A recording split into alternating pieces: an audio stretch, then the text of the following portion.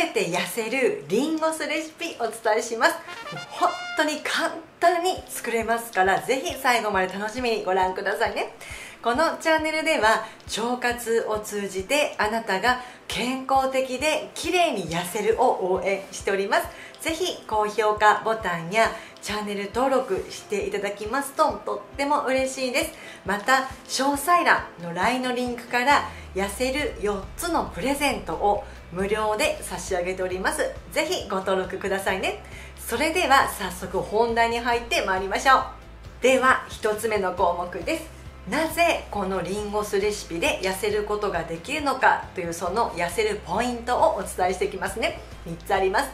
1つ目です。あなたの腸内環境が整うからなんですよ。あなたの腸がもしですね疲れ切ってしまったり働いてくれなかったり汚れていたりそういった状態になってしまうとあなたは痩せることができないんですよ。もう根本的に痩せ体質になっていないからなんですよね。逆を言いますと腸内環境が整っている方っていうのはもう本当に自然にね痩せることができるんです。もうメリットいっぱいあるんですけれどもその一つはやはり痩せ菌と呼ばれるその善玉菌たちの種類が多くってしかも元気いっぱいでいつまでもあなたの腸内に住み続けてくれるっていうこのね環境をあなたがいかに作ることができるかできないかでも全くダイエット効果が変わってきてしまうんですよ。もしあなたの腸内環境が例えば甘いものをいっぱい食べてる方とか脂っこいものとか気をつけてはいても例えば添加物を知らない間にいっぱい食べてしまっていたりとかですね。そういった方というのは腸内環境がもう汚れてるわけですよね。結果食べても食べても全然栄養を吸収できない消化できないもうただただもう入るだけでどんどん溜め込んでいくっていうその負のスパイラルへと入ってしまってらっしゃるわけです。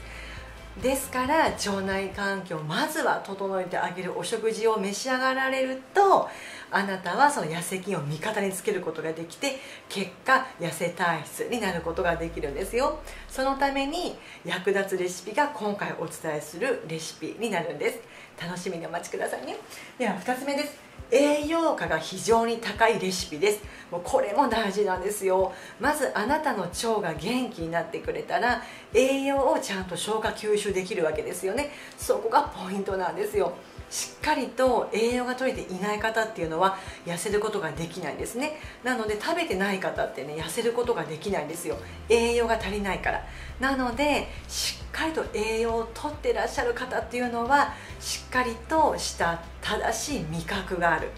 例えば食べても食べてもなんか満たされないっていうその味覚をお持ちの方っていうのはもう味覚が異常なんですよね。それはどこから来てるかっていうと栄養不足から来てるわけです。栄養が取れないと味覚をコントロールしてくれているそのホルモンがですね作れないんですよ。あなんかもうないホルモンがないってなると、えー、食べちゃえってなるわけですよね。またどんどんその体重をコントロールしてくれるホルモンもうまく作ることができないとどんどん体重設定値が上がってしまって結果あなたが太ってしまうわけですよね。なので根本的にあもしかして私が太ってる原因は腸が汚れててしかもその結果栄養が吸収できていなかったんだなっていうことを気づいた方っていうのは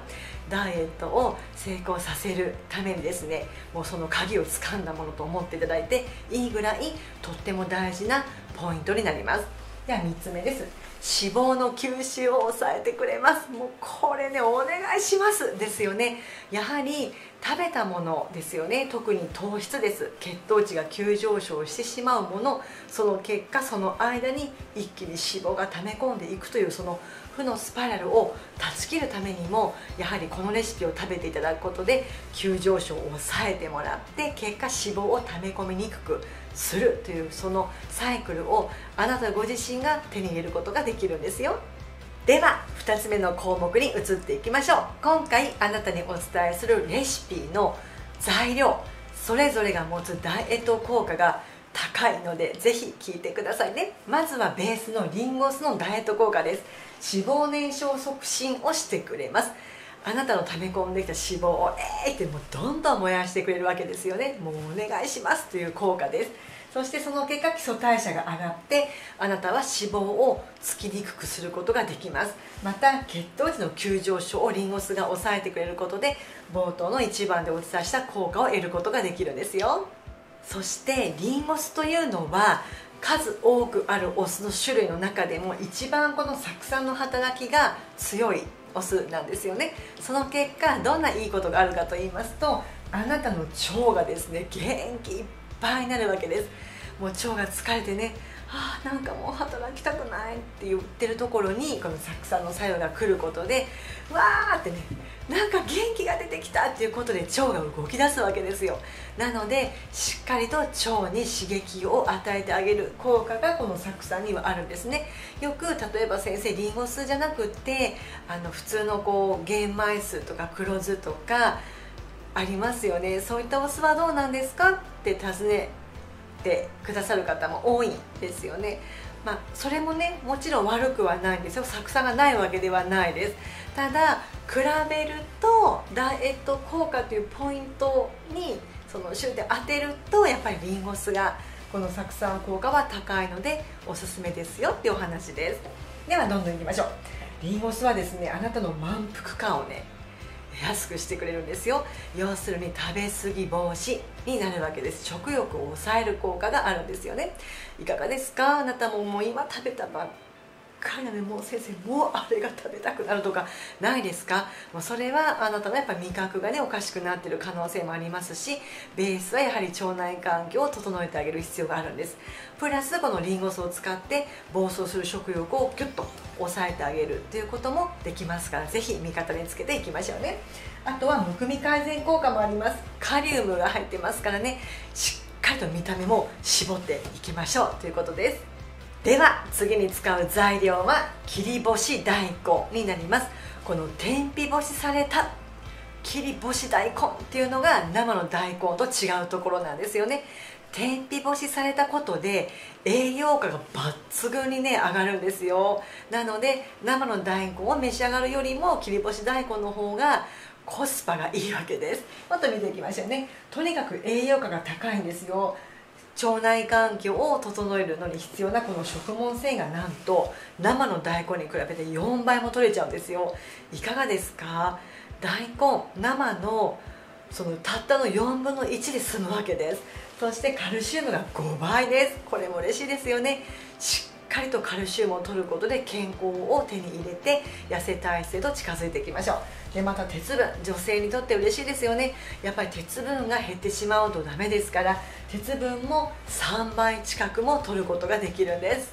はい。次は昆布になります。今回のレシピはね昆布あの塩昆布をね使っていくんですけれども昆布ってすごいんですよ。あなたの腸内にいる痩せ菌たちの餌となる食物繊維がなんと同時に2種類一緒に取れてしまう優れものなんですね。水溶性と不溶性といってそれぞれ腸内環境を整えるためにはとっても必要な食物繊維の種類になります。その結果便秘が改善されて腸がピッカピカにね綺麗になってデトックスすることができます。また昆布もですねリンゴ酢と同じです。血糖値の急上昇をぐっと抑えてくれますからイコールその間脂肪を溜め込みにくくしてくれるってことができるんですよね。でまた嬉しいことにコレステロール値もね下げてくれますよ。なのでいかがですか？もう最近やばい。コレステロール値が高いって病院の先生から言われてしまったって。でもどうしたらいいんだろうっていう方は昆布も取ってくださいね。そして満腹感を得ることができます。昆布でも。これ大事ですよね。なのでこういった形であなたの暴走する食欲を昆布でも抑えることができるんですよ。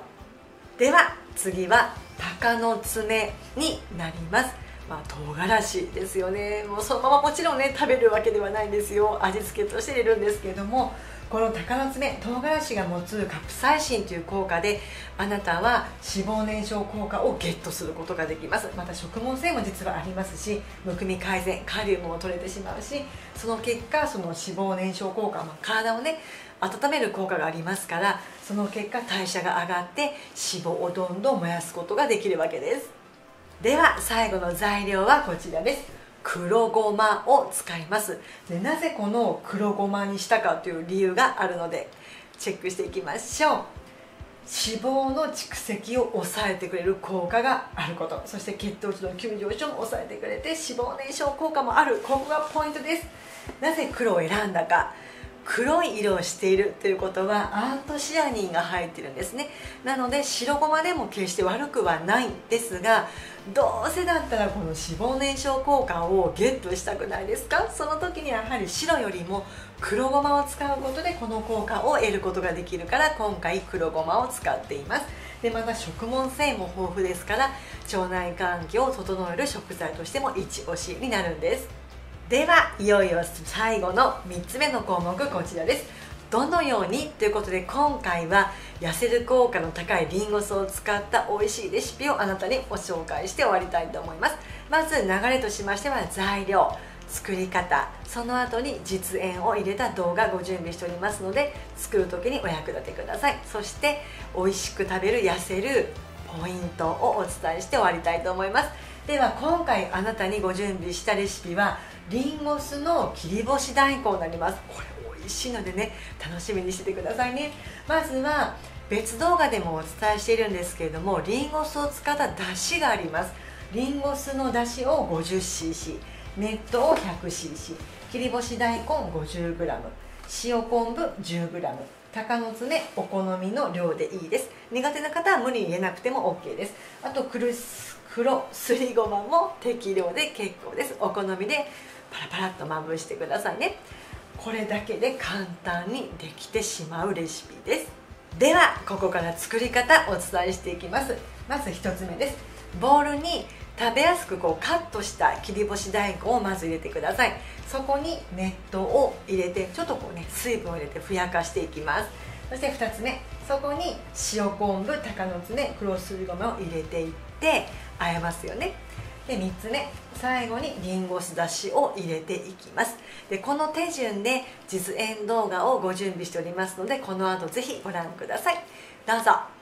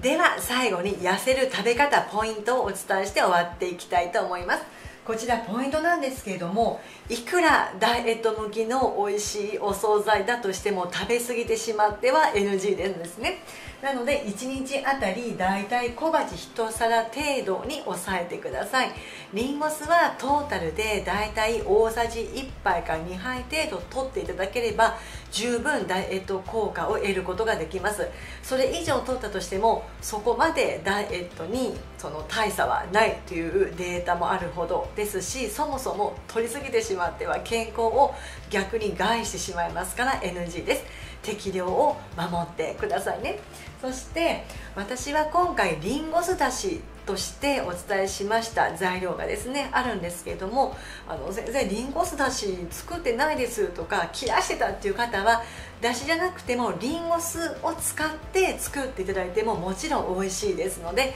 ぜひリンゴ酢でも作ってみていただいても OK です。ただうまみ成分が出るのはやっぱりねリンゴ酢だしの方になりますから私のおすすめはリンゴ酢だしを使った切り干し大根になります。そしてこのレシピは冷蔵庫で約1週間ほど日持ちしますので、まあ、保存食としてもおすすめですからあの私はですね結構まあ少量のレシピの材料をお伝えしてますけれどもこの倍の量とか3倍の量とかですねどんどん作っていただいて1週間で食べきっていただければ OK ですということになります。また材料の一つですねポイントなんですけれどもリンゴ酢の選び方があります。添加物がたっぷり入ったリンゴ酢は選ばないでくださいね。じゃあどんなリンゴ酢が良いのかと言いますと裏の原材料名をチェックしていただいてもうたった一つだけできているリンゴ酢を選びましょう。なんて書いてあると思いますか？それは国産のリンゴ果汁100%のみでできているものを選びましょうね。その原材料でしたらどこのブランドでも安心安全だと思います。でまたとっても注意なところがあるんですけれども塩昆布。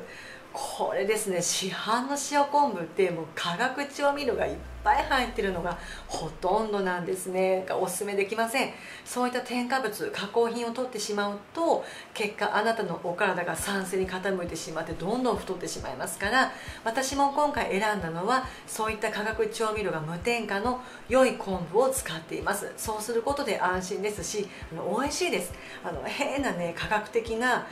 なんかこう作られたような味の昆布ではありませんからもう本当に素材そのものを使った塩昆布でいいと思いますしあの本当普通のね切り干しの昆布にお塩入れてもいいと思うんですよ。もうそれぐらいやっぱり天然のもの無添加のものを選んでいただきたいなと思います。そして黒すりごまもできればオーガニックの黒すりごまでしたらさらにおすすめなのでぜひ材料そのもの素材そのものにもこだわって召し上がっていただきますと腸内環境がどんどん整いますからぜひ良いものを選んで作ってみてくださいね。それでは最後までご視聴していただきましてありがとうございました。